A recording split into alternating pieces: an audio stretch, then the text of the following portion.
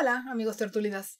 Los saluda Laura Malfoy desde un rincón de la República Mexicana, donde se piensa, reflexiona y explica Harry Potter. Y el día de hoy quiero platicarles acerca de las varitas mágicas. Estamos ya en la otra vez. Espera, no, sí, estamos mal. Eh, pausa. Hola, amigos tertulidas. Los saluda Laura Malfoy desde un rincón de la República Mexicana, donde se piensa, reflexiona y explica Harry Potter. El día de hoy quiero platicarles acerca de las varitas mágicas. Ya estamos en la cuarta cápsula sobre las varitas y esta vez le toca el turno a la explicación de la combinación de madera con el núcleo.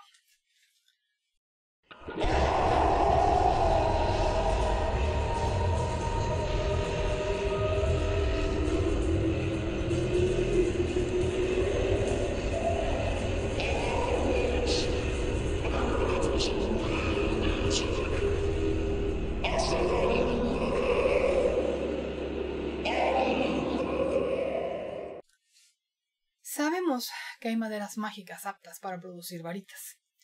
Casi podríamos decir que existen los árboles mágicos y los modos, como sucede con los humanos, pero ese es tema para la siguiente cápsula.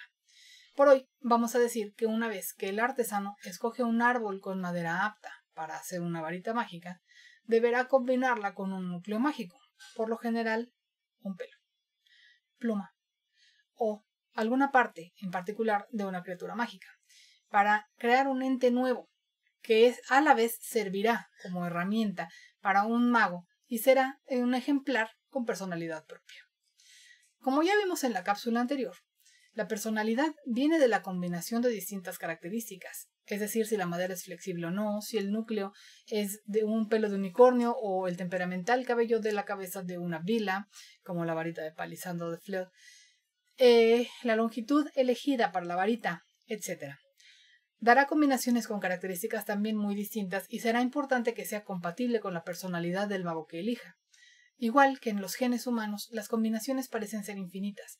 En las varitas, aunque ligeramente más limitadas, también hay una cantidad enorme de combinaciones posibles, que además se harán aún más grandes, o sea, la cantidad de combinaciones posibles, cuando la varita ya esté enlazada a un humano y que se acrecentarán todavía más conforme vayan viviendo experiencias juntos, al grado de poder quedar separados para siempre. También es una posibilidad. No te pierdas las partes 5 y 6 de esta serie de cápsulas sobre varitas, donde hablaremos de la madera que se usa para fabricarlas y de la predictibilidad en el comportamiento de estos mágicos instrumentos. Hasta la próxima.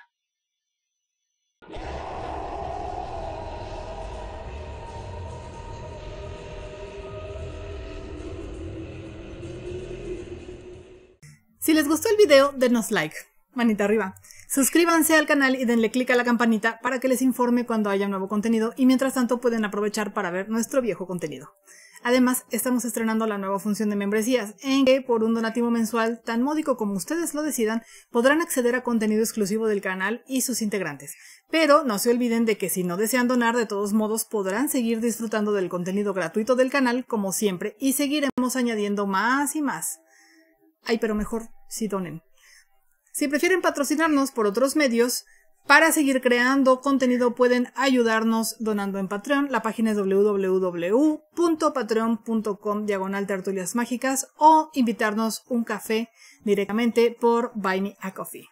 No se olviden además de comprar artículos promocionales, vinilos decorativos y regalos personalizados en Personalizables Cuyo Virtuoso, que es la empresa que subsidia este canal, para que podamos seguir produciéndolo. Hasta luego.